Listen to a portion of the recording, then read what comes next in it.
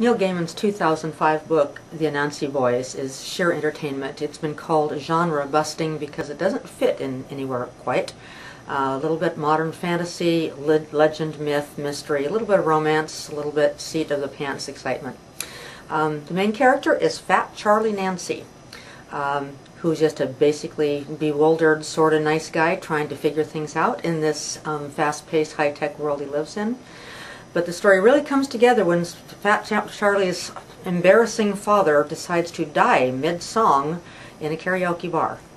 At that point, Fat Charlie soon discovers that his father was actually Anansi, the um, legendary spider god Small G of Africa.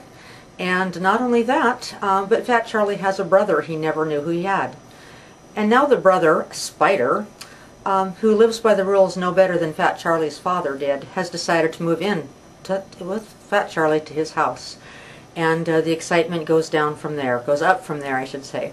Um, um, it told in Gaiman's um, definitely offbeat sort of style. Uh, the Anansi Boys is entertainment from beginning to end and um, sheer, sheer fun. I'd recommend it to anybody who needs to read something different for the weekend.